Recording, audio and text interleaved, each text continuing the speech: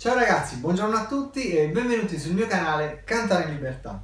Oggi parliamo di un argomento molto importante che mi viene spesso richiesto, che è l'interpretazione.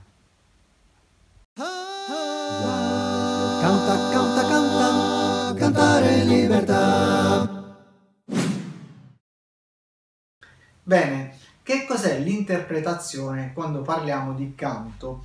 Praticamente quando si scrive una canzone, ognuno di noi dà una propria interpretazione di quello che sta scrivendo, quindi l'autore pensa al proprio messaggio da mandare, che però non è sempre chiaro, ma bisogna a volte leggerlo tra le righe. Quindi questo spetta a chi interpreta quella canzone di fare uscire il significato che per lui ha quella canzone stessa.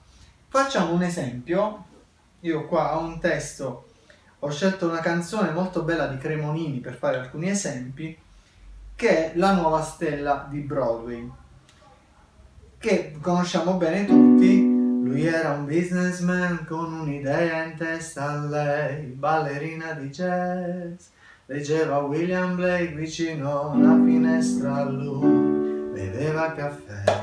Allora capiamo un attimo uh, come interpretare questa canzone, ma Facciamo solo un esempio su questa, ovviamente tutto poi possiamo applicarlo alle altre canzoni, in base a quello che ci trasmettono.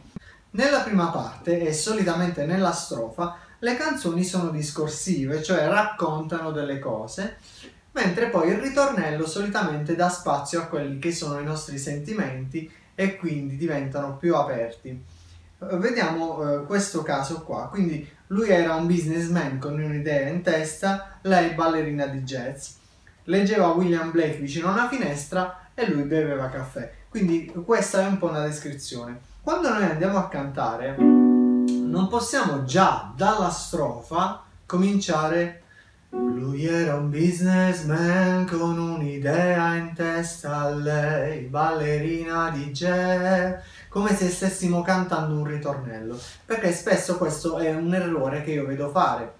Più che io dico errore per dire che secondo me in questo caso nella strofa bisogna essere molto più descrittivi. Quindi lui era un businessman con un'idea in testa a lei, ballerina di jazz.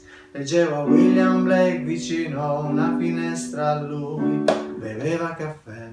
Cioè proprio raccontando quella che è la scena, senza troppo pathos, perché qui non serve. Oh, guardando quelle gambe muoversi pensò è una stella, pensava Fred Astaire.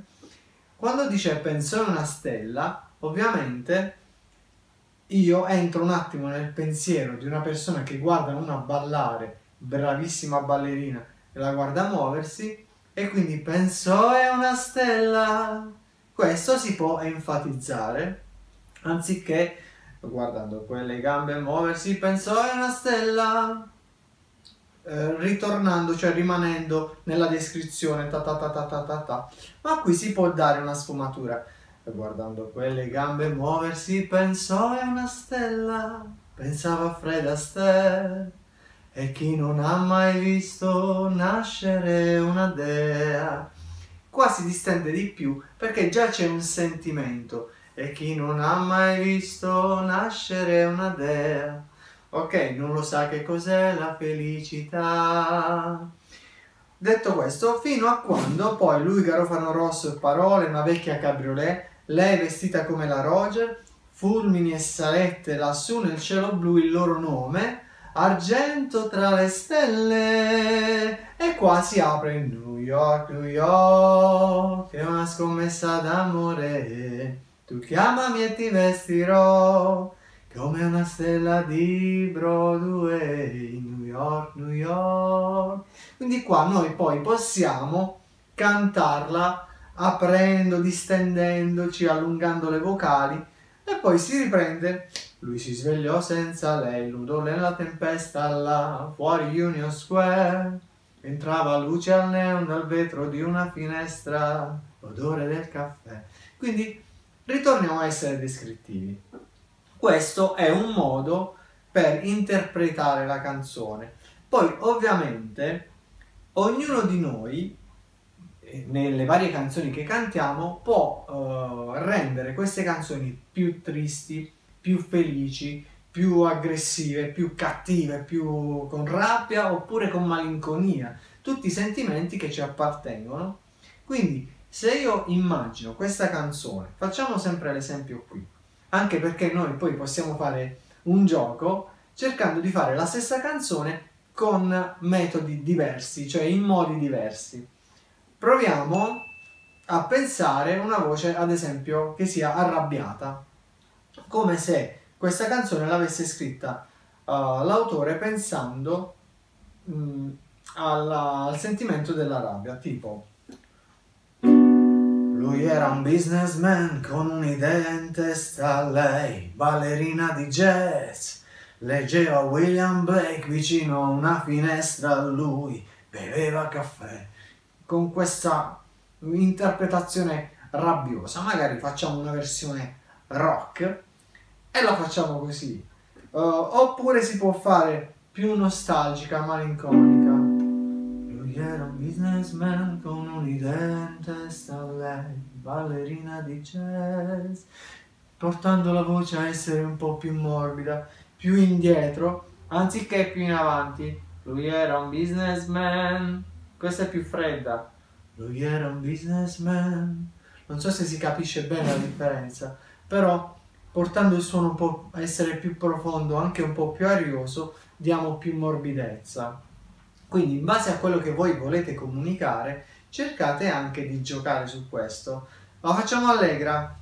Lui era un businessman con un'idea in testa a lei, ballerina di jazz. Leggeva William Blake vicino a una finestra a lui, beveva caffè. In questo modo vediamo che la canzone diventa più allegra e acquisisce un tono più, più leggero, più scherzoso. Quindi quando noi poi andiamo a studiare una canzone, la prima cosa da fare è leggere il testo, capire bene di che cosa parla la canzone, perché è fondamentale questo, altrimenti non possiamo interpretare nulla. E ricordiamoci che la strofa solitamente è più raccontata, racconta più delle scene, e quindi non soffermiamoci troppo a cantarle, a declamarle, come invece possiamo fare solitamente nel ritornello. Poi ci sono le eccezioni, però solitamente è così. E poi sperimentiamo la nostra voce con i vari sentimenti con cui possiamo cantare le canzoni. Magari se una canzone è questo è il ballo del qua qua, na na na non possiamo fare una canzone questo è il ballo del qua qua con una voce troppo uh, troppo profonda. È chiaro, io sto dicendo delle cose ovvie, però proviamo a sperimentare nelle varie canzoni i vari modi di cantare. La facciamo allegra, poi la facciamo triste e vedrete che escono proprio dalla vostra voce dei colori che magari neanche pensavate di avere, ma che ci sono e quindi questo ci aiuta anche a conoscere meglio la nostra vocalità in un certo, in un certo senso e la nostra espressività. Ok? Quindi questo era solo qualche consiglio se avete altre domande oppure curiosità scrivetelo nei commenti e io vi risponderò il prima possibile. Ciao ciao ragazzi, alla prossima!